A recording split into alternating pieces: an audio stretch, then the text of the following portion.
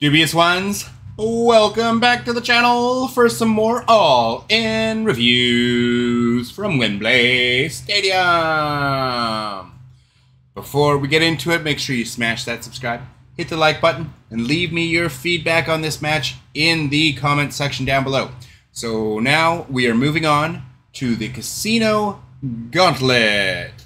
So this match is a little interesting as it's kind of like a cross between like a Royal Rumble and like a Money in the Bank, but in a gauntlet match. So first person to get a pin or uh, submission ends the match. So you don't even need all the entrants in the match to uh, to win it. So it's an interesting stipulation match that is very unique to AEW that I think um, could really catch on. I really enjoyed it this year. But let's get right into uh, the review. So let's get a little recap first. So it started out um, with, I believe, what was a Mr. Bean callback a little vignette of Orange Cassidy falling from the sky under a big spotlight. I believe this was uh, the intro to the Mr. Bean show, if I'm not mistaken. Uh, regardless, it gets a big pop, and then Okada draws number two. So we are starting the match with two members of Chaos. Well, Okada, I guess, is he a former member of Chaos in New Japan? I don't really know. But I thought it was pretty cool that we got Okada and Orange Cassidy to start this out. Fans go nuts, chanting for Okada when he comes down to the ring.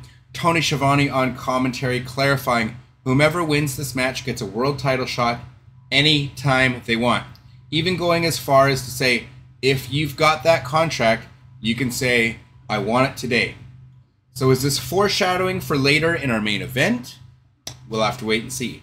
But Okada then opens his arms, brings Orange Cassidy in for a hug as the match begins, as they were both members of Chaos in New Japan.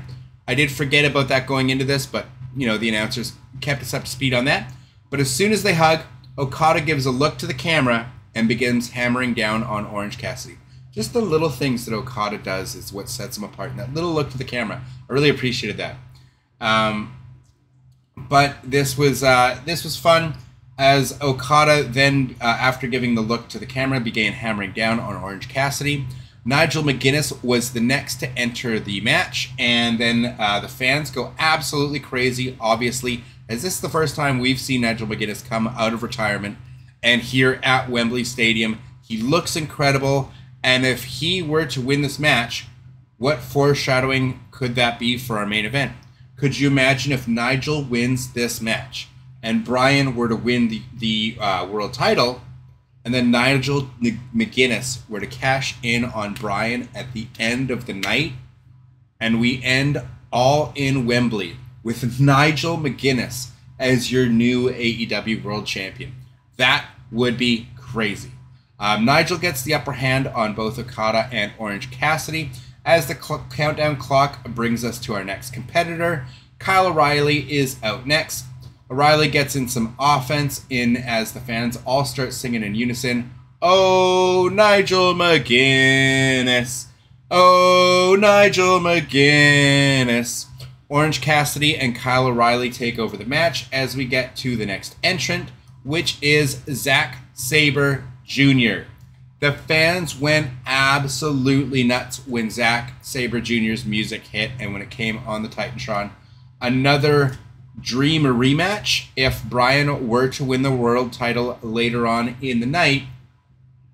Could you imagine if Zack Sabre Jr. were to win this contract and cash in at the end of the night, and Zack Sabre Jr. leaves Wembley as your AEW World Champion? That would be absolutely nuts, as they are here in London. That would drive the fans nuts in a good way. Um, Zack clears the ring, and we get a standoff between Zack Sabre Jr. and Nigel McGuinness. The fans go absolutely bonkers for this, cheering while giving a standing ovation. Uh, at the same time, that breaks into holy shit chants. They exchange European uppercuts as the fans chant, This is wrestling! Dun, dun, dun, dun, dun. This is wrestling! Uh, Okada slides back into the ring and knocks Nigel down and faces off with Zack Sabre Jr. The fans boo as Okada smiles ear to ear. Zack pretzels him up into a submission that Okada reverses into a shoulder breaker over his knee, then hits his pat- patented elbow drop off the top rope. He gives the Rainmaker pose tease, but then gives the finger to the fans instead. You know, like it's whole, which is great. I uh, love the heel Okada. I definitely do miss main event Okada, but I think we will get there during his AEW run for sure. They're paying him too much not to have him become main event Okada. But I do enjoy his little mannerisms and the things he's doing as a heel, and I understand a lot of it is because of his English, right? As he's learning and getting better. I mean, I still think his promos are quite fun, but to get him to that main event level, I can understand they might want to take their time with him, have him play in this heelish kind of comedy character and I don't hate it, but I mean, obviously, we all want to see main event Okada um, in AEW. Anyway, Zack Sabre Jr. then gets the upper hand, putting both Okada and Kyle O'Reilly into a submission at the same time. We then get our next entrant, which is Roderick Strong, who comes in hot, hitting backbreakers left, right, center. Then all of a sudden, we get the countdown clock far faster than the last uh, than, than we did before uh, or before Roderick Strong came out. There's a long period before the clock came up. This one, it seemed to come out right as Roderick got strong, got some offense in. Boom, the clock was right there. Where the announcers have to save it by stating, "We don't know how long each of these intervals will be, as there's not a set time. They just they're just random."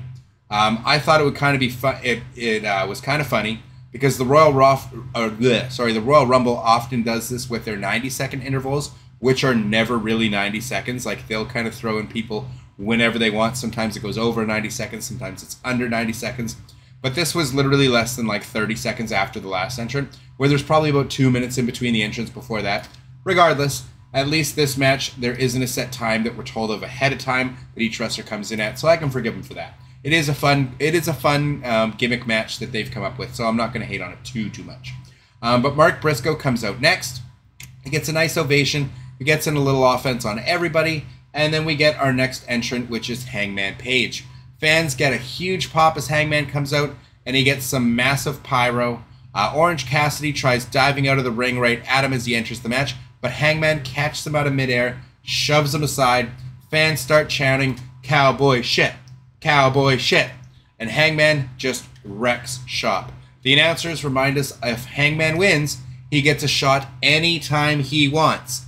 So, we know he wants Swerve, so if Swerve were to defeat Bryan tonight and retire Bryan, Hangman could also cash in and leave Wembley as world champion. Or maybe he is able to cash in in the middle of the match, like a Seth Rollins when it was like Brock Roman style, and then Bryan doesn't lose to Swerve, but he loses the world title match. Hangman wins it, is Bryan still forced into retirement then because he didn't lose the match against Swerve? Like, how does that go? So that's a possibility. A lot of a lot of things are thrown at us here with the different entrances and getting our wheels to turn, letting us kind of fantasy book in our heads a bit of what they could do um, just with the entrance in this match, which I thought was a lot of fun. Uh, Hangman just walks through everybody, clearing the ring, then catching uh, Orange Cassidy out of midair again, hitting a fallaway slam to Orange then a crossbody to the outside on Okada, hits a big boot to Nigel McGuinness. Then he catches Roderick Strong running at him with a pop-up powerbomb on the edge of the ring. They're literally giving the world to Hangman Page at this point, just beating down everybody with some amazing offense. Fans go nuts. He then goes for a buckshot on Orange Cassidy, but OC ducks. Still gets hit with a dead eye instead. Um, Briscoe then saves the match as Hangman went for the pin, and then we get our next entrant, wee wee Jeff Jarrett's music hits and he comes out and he squares off with Hangman. They come to blows. Then the rest of the ring fills up. Jarrett gets his moment on each of them, knocking everyone back and outside of the ring. He does his little Fargo strut, you know, the Ric Flair strut, and then pegs Han- Hangman in the corner.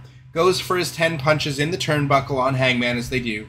Um, and the fans are into it, but before he gets to 10, Hangman picks him up, last ride powerbomb Undertaker style, and powers up, power bombs him onto the outside of the ring, onto everyone else in the match that caught him on the outside. Then we get our next entrant, and it is none other than boom. It was speculated forever. Ricochet. So Ricochet enters the match. The fans go absolutely crazy. Then Ricochet gets in the ring and starts doing Ricochet things. He knocks down. He knocks Hangman to the outside. Fans are going crazy. Fans start fans start chanting for Ricochet as he continues to do ricochet things, knocking everyone on the outside. Then he does a diving shooting star press to the outside onto everyone, And then we get our next entrant, which is none other than the patriarchy himself, Christian Cage. Had a brutal trios match earlier in the match, in that ladder match, so Christian is literally limping his way to the ring. And then he gets dove onto, while he's still on the outside, over the top, or like from the top rope by Ricochet. Ricochet then gets back in the ring, but he gets hit by a buckshot lariat by Hangman Page.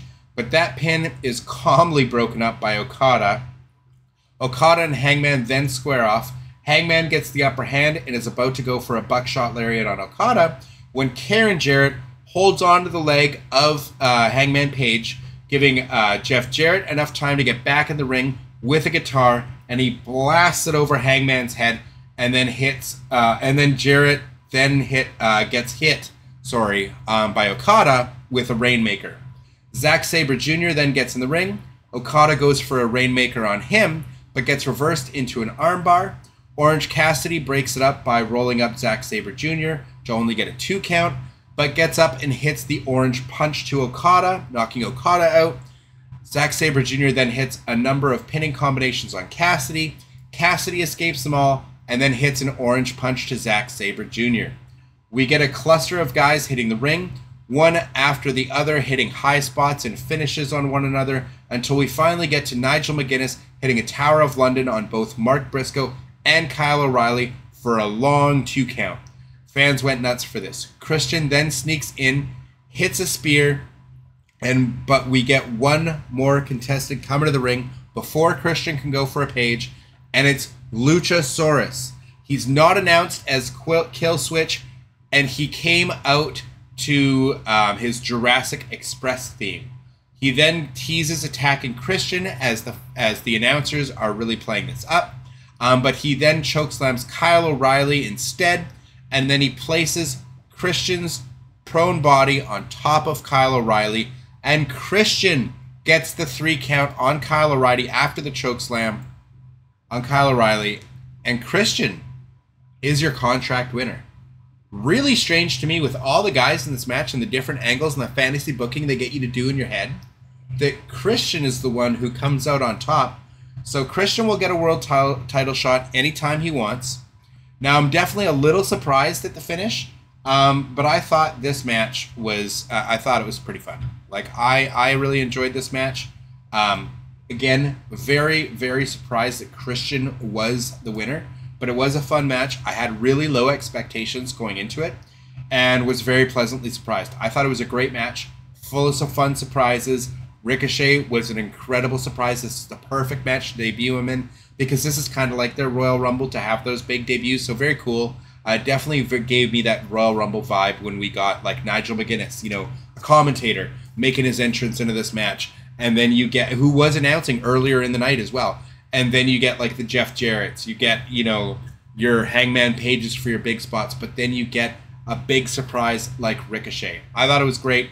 Very much a Royal Rumble vibe to this, but because it's like pin or submission, first one to get it, they have the countdown clock, but then the title shot. Um, they were kind of vague, intentionally vague, on whether it's like a Money in the Bank stipulation where do you have to announce the cash in first, or can you just go in the middle of a match, cash it in, or right after someone's you know won or lost a match and cash it in on them? I guess won the match. Um, it's not clear, and I think it's intentionally vague that way. But I like it. I like it as a gimmick match for AEW because it's just different enough, and it combines the coolest parts of Money in the Bank and the Royal Rumble with a different kind of match. So I really actually do appreciate that, and I like it a lot.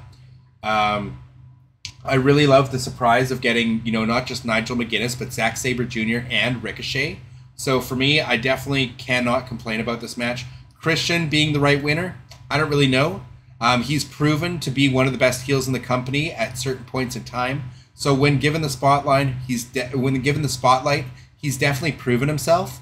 Um, whether he can really still be in a main event program, I mean, I think, given the spotlight, given the opportunity, I think he's definitely capable of having a great main event program. The question is, is he just winning this match to lose it, lose to either Swerve or Danielson, like as their next TV program, or are we gonna get like a Money in the Bank style tease from Christian all the time, where he's teasing constantly that he's gonna cash in, he doesn't, and then he's like uses it as like the ultimate opportunist kind of thing. and then you have Edge come back, or sorry, Adam Copeland come back, and then have a big feud with him as a world title program. Are they going to go that way? I don't know. I think more likely you're probably getting a TV program with either Swerve or Danielson, whoever wins the main event. I think you're probably just going to get your next TV program out of this. Um, but we'll have to wait and see and see how things go. I think I'd like it more. I think if they teased it like a Money in the Bank style and had it where you could cash in whenever he wants, but we'll have to see. Because uh, the uh, the announcers went out of the way, way out of their way saying that they can cash this in on any given day. But does it mean again? Is it Money in the Bank rules fully, or do they announce the match ahead of time? So I think it's really intentionally vague to leave them this, the freedom that way. But as far as a rating for this match, I definitely love the surprises. I thought this, uh, for the type of match it is, it really worked out well and I really enjoyed it. There wasn't really any dull moments. Almost any time was about to feel that way. We got another entrant of the match. They just put the countdown clock and we get the next person. As soon as things started getting to that feeling where it might start getting dull. Uh, so the pace of the match flowed really, really well for me. So for a rating, I'd have to give this match, I would say, a solid 7 out of 10. I give this match a 7 out of 10. It's a really fun gimmick match. Uh, if we had a different winner, I might have given it maybe a 7.5, maybe even an 8, just for the the way the crowd might have popped for, say, like, say, a Zack Sabre Jr. or a Nigel McGuinness or even an Okada or a Ricochet winning. You know, something exciting like that. Christian winning makes it feel like no matter who the champion is, Christian will likely be losing that program. Where you could really believe that a Nigel uh, or a Zack Sabre Jr. or even a Hangman uh, could really be cashing in this contract or this this at the end of the night as a spoil um, for either Swerve or Danielson's all in moment, depending on who wins that match, right? So, either way, I really did enjoy this match uh, far more than I expected to. Going into another gimmick match, like, you know, being a different, another gimmick match. I think this one has legs to it. Um, I don't know if it'll become its own pay per view like the Royal Rumble eventually did. Um, but I definitely think this uh, this gimmick has legs to it, and I definitely enjoyed this match. So I really enjoyed it. I hope you guys did as well. Um, that's going to do it for this one. Stay tuned for the chat. Sorry, stay tuned to the channel as I will be reviewing the rest of All In, the remaining four or five matches that we have left on the card. I will be reviewing, putting them up on the channel for you guys very, very soon here. So stay tuned to the channel. Check in for that. Like, subscribe, leave me your feedback. What did you think of the Gauntlet match? I want to hear your takes on this and maybe some of the fantasy booking you were doing in your head as this match was going on. But that's going to do it for this one. Dubious ones. I appreciate you all. Thank you for watching. And until the next time, deuces.